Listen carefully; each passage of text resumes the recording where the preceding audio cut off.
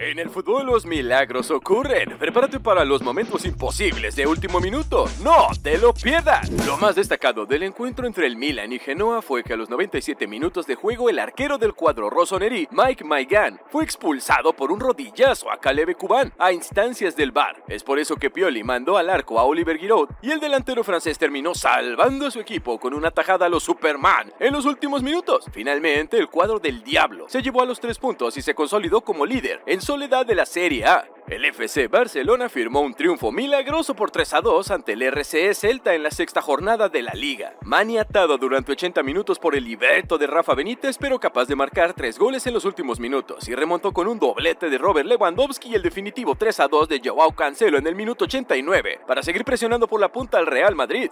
Scott McTominay, habitual actor secundario a lo largo de toda su carrera, no olvidará fácilmente el 7 de octubre de 2023 en el que aceptó de buen grado ser el protagonista principal de una película que parecía de terror. El centrocampista escocés, que saltó al verde de Old Trafford en el minuto 87 del partido, cuando los Red Devils iban perdiendo por 0 a 1 ante el Brentford, firmó los dos goles de la remontada local para que la cosa acabase en 2 a 1. El empate aconteció en el 93 al mandar a guardar al escocés el balón tras hacerse con un rechazo en el área, y el gol del triunfo en el 97 con el tiempo ya cumplido al rematar a bocajarro un balón suelto en las inmediaciones de Strakosha. Le salió caro esta vez al Manchester United, pero si no deja de ser un equipo que lanza una moneda al aire, difícilmente estará en la lucha por los títulos. Arsenal se llevó tres puntos valiosos al vencer como local 3 a 1 a Manchester United en un final electrizante. Por la cuarta fecha de la Premier League, el equipo dirigido por Mikel Arteta recién pudo romper la paridad en el resultado a los 96 minutos a través de Declan Rice, quien aprovechó la sesión de Bukayo Saka en un córner para conseguir el 2 a 1 parcial que tanto había buscado el conjunto local. Ya sobre el cierre del encuentro, cuando Manchester United intentó con desesperación volver a nivelar el marcador, Gabriel Jesús sentenció la historia en un contraataque con una definición impecable en la que dejó desparramado a Diogo Dalot. Iván Provedel se convirtió en la gran figura del duelo entre italianos entero para arrebatarle la victoria al Atlético de Madrid y sellar el 1 a 1 en la primera fecha del grupo E de la Champions League.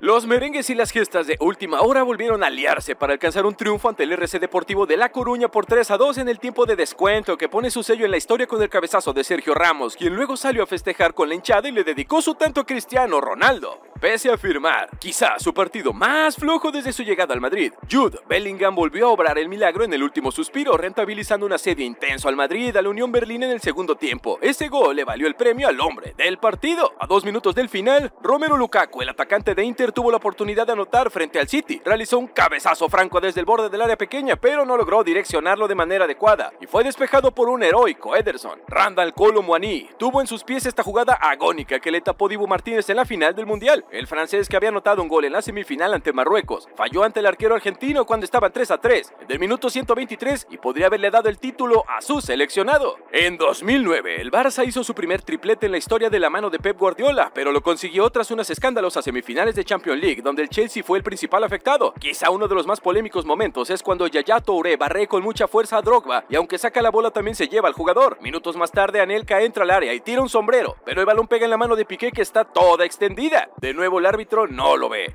Es el minuto 95 y el Chelsea está volcado arriba. Michael Ballack dispara con potencia y el balón pega en la axila de Samuel Eto'o. No hay penal y el alemán sale disparado sobre el árbitro. Años después, el árbitro Tom Henning o Brevo dijo que ese día fue el peor de su carrera. Años después, Mourinho atacaría al Barça de Guardiola y diría que Pep ganó su primera Champions con el escándalo de Stamford Bridge. El Olympiacos conservó su ventaja hasta el minuto 90 y llevó el desenlace a la prórroga. El Arsenal logró igualar el partido y recuperar las opciones de clasificación, pero con la clasificación en el bolsillo, otra acción a balón parado culmina con el exjugador del Granada. El Arabí dio la victoria y la clasificación al Olympiacos, ya que Pierre Aubameyang se perdió el gol que le daría la clasificación al Arsenal al definir rápido ante la presión rival y la pelota apenas rozó el palo. En el partido de Alemania contra Corea del Sur en Rusia 2018, la balanza terminó de inclinarse en el tiempo de descuento y con un gol repleto de polémicas. Kim Jong-won empujó la pelota abajo del arco tras un córner defectuoso y el juez de línea anuló el tanto por una supuesta posición adelantada. A la novela le faltaba un capítulo. El VAR terminó haciendo justicia y demostrando que el defensor coreano estaba en una posición lícita. Manuel Neuer fue en búsqueda del empate, teniendo en claro que solo servía la victoria. Un error en el área rival del desesperado arquero le dejó la pelota a los pies a Yu Se-hong, quien sacó un envío largo y dejó en soledad a Song Heung-min, quien solo debió empujarla al fondo de la red.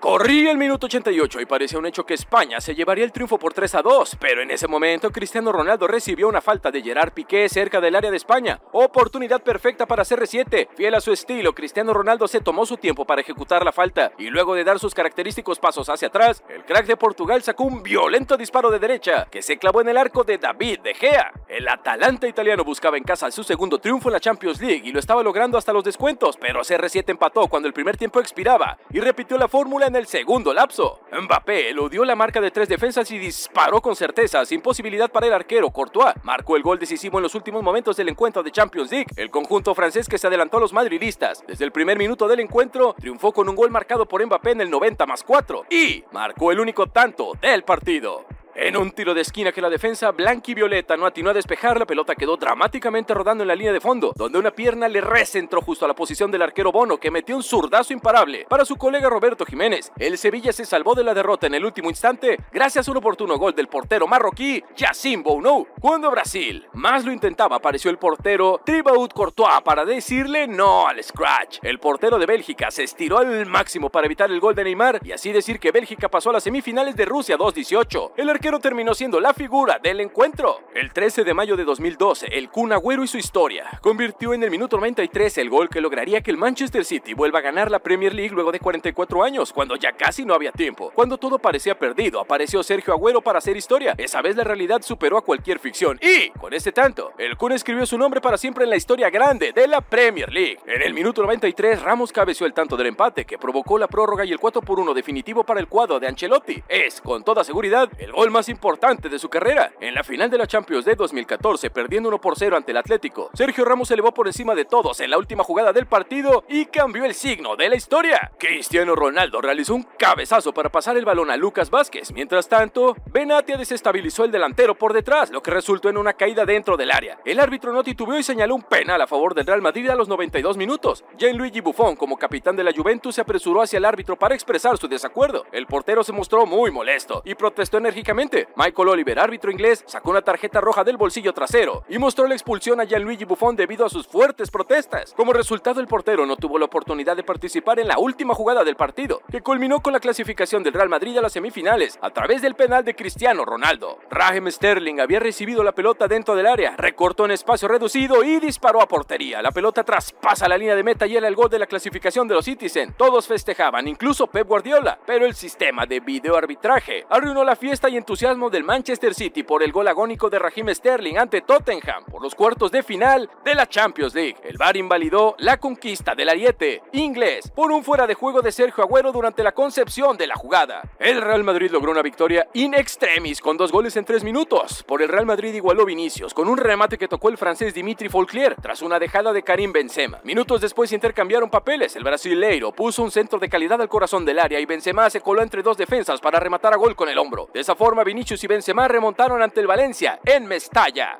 El Atlético de Madrid salvó sobre la bocina un partido horroroso en el que se vio obligado a solucionar todos los problemas de la primera parte en la segunda. Solo un gol de Anthony Griezmann en los últimos 15 minutos de partido de San Siro y otro de Luis Suárez desde el punto de penalti evitaron que el Atlético de Madrid se plantase en la tercera jornada de la Champions League con un punto. El conjunto rojiblanco arregló en la segunda parte una primera mitad desastrosa. Con un gol en el minuto 90, el Manchester City le ganó al Borussia Dortmund 2 a 1, aunque no convenció del todo. El resultado fue mucho mejor que el juego que desplegaron los pupilos de Pep Guardiola, pero Phil Foden dio la victoria al equipo de Pep Guardiola sobre la bocina.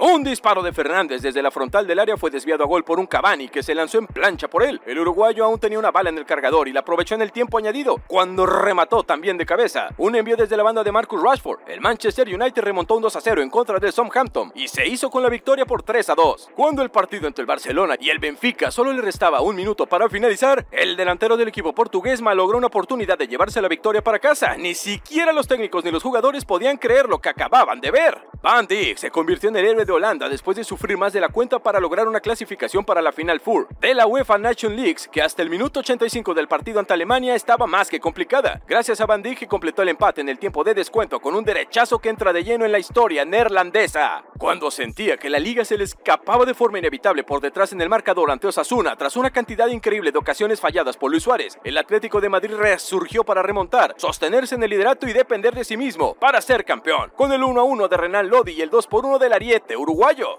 Mario Gravanovich se hizo con el balón y ejecutó un pase largo y batido a Shakiri. El atacante del Stoke City emprendió una carrera en solitario hacia la meta rival, salvó a Stojovic y envió la pelota a la red para dar el triunfo a su equipo y aproximar a Suiza a los octavos de final. En el minuto 92 del partido, el equipo dirigido por Sven Goran Eriksson estaba perdiendo 2 a 1 contra Grecia durante las eliminatorias para la Copa Mundial de Corea-Japón 2002. Inglaterra necesitaba ganar o empatar para clasificar al Mundial. Pero fue en ese momento cuando David Beckham apareció con un golazo de tiro libre para empatar el encuentro y darle así la clasificación directa a Inglaterra a la Copa del Mundo. De forma increíble e inimaginable, Macedonia del Norte se puso 1 a 0 arriba sobre Italia en los últimos minutos de la semifinal del repechaje en las eliminatorias europeas rumbo a Qatar 2022, dejando sin mundial a la Zurra. El equipo dirigido por Robert Mancini la buscó todo el partido y tuvo algunas opciones claras, pero Alexander Trapkowski finalizó sus esperanzas de asistir a la máxima fiesta del mundo. Después de ir perdiendo 2 a 0 y de meter dos goles de cabeza para empatar después de que la eliminación los mirara de frente, la selección belga avanzó desde su campo con el arquero Courtois, siguió con De Bruyne, Meunier, definió Chadley. Fue clave Lukaku sin tocar la pelota para dar vuelta a la historia y llevarse los abrazos de alegría al vestuario. Golazo para clasificarse a los cuartos de final del Mundial 2018. En Inglaterra, Liverpool arrancó abajo por dos goles ante el conjunto alemán, pero Origi, Coutinho, Sacó y Lobren comandaron la agónica remontada de 4 a 3 y lograron el pase para las semifinales de la UEFA Eurocopa League tras el 1 a 1 en Alemania. Estuvieron abajo 3 a 1 y terminaron ganando 4 a 3, en lo que se recuerda como una de las mejores remontadas de la Europa League. Segundos, solo eso faltaba para que caiga el telón, pero faltaba un acto más. Sergio Roberto marcó un golazo en el tiempo de descuento, culminando la remontada y asegurando la clasificación del equipo. Neymar realizó un excelente centro que fue rematado a la red por su compañero. El FC Barcelona logró una victoria histórica por 6 a 1 contra el PSG en el partido de vuelta de los octavos de final de la Champions League. Las probabilidades de victoria para el Real Madrid eran realmente bajas frente al City, pero el fútbol sorprende. El partido estaba 0 por 1 y la serie 3 a 5 para los ciudadanos. Cuando Camavinga cruzó la pelota de derecha a izquierda, Benzema la bajó de aire al corazón del área y Rodrigo, como N9, puso a tiro al Madrid. Fue el despertador para el dueño de casa y un golpe de KO para la visita. Y apenas dos minutos después, en los primeros 60 segundos de descuento, Rodrigo volvió a sacudir la llave. Dani Carvajal sacó un centro con veneno desde la derecha y Rodrigo de cabeza venció la resistencia de Ederson e igualó la serie. Por el momento más emocionante de último minuto es que hayas llegado hasta aquí para suscribirte a este canal y quedarte viendo estos goles imposibles.